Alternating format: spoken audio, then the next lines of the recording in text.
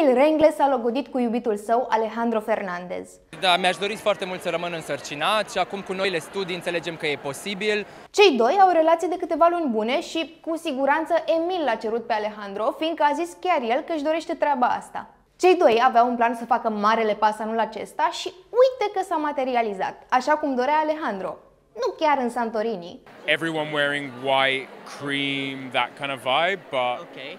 Nu chiar nunta propriu-zisă, dar ceva să placă la toată lumea. Frumos, pe plaje pustie, amândoi îmbrăcați în alb, romantic. Poate nunta o fac cum își dorea Emil în junglă. Jungle, no people, just us in the nature. Vă dați seama cum ar fi băieții ăștia doi la o nuntă pe clasic, cu sarmale și manele la noi la țară? Dansai pe lângă foc Astăzi vrei la stroboscop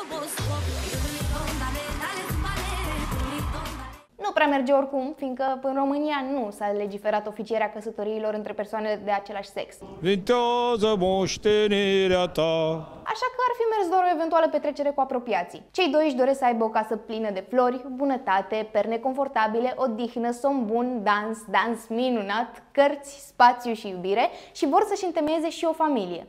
Și cred că toată lumea știe că îmi doresc să rămân însărcinat cu el. Nu ne-a ieșit. Nu știu, nu nimerim noi gaura potrivită, nici nu contează. Oh my God. Oricum îmi doresc foarte tare să am un copil cu el. Toate astea sună absolut normal pentru doi oameni care se iubesc, dar să nu uităm că în România oamenii încă privesc cu suspiciune relațiile între persoanele de același sex. Noi le urăm casă de piatră mirilor și să fie fericiți. Până la urmă, love is love.